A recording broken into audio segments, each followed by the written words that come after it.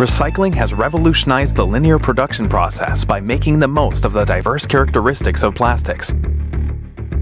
With the resulting global recycling model presenting new opportunities for Everplast to leverage its 30 years experience as an extrusion machine specialist. The use of natural fibers in extrusion molding has attracted increasing attention in recent years.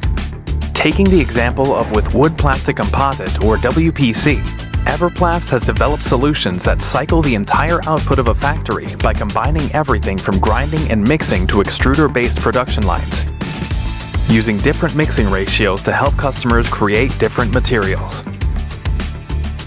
We have always start out by looking at how to make the best use of resource. So, turning waste material into new materials and applications is definitely the right direction for us. Everplast equipment also enables manufacturers to reuse materials other than plastics. In 2005, the company has successfully recycled wastewood, rice husks, plasterboard, coffee grounds, and other waste into new materials for use in sectors such as construction, interior decorating, art, and design.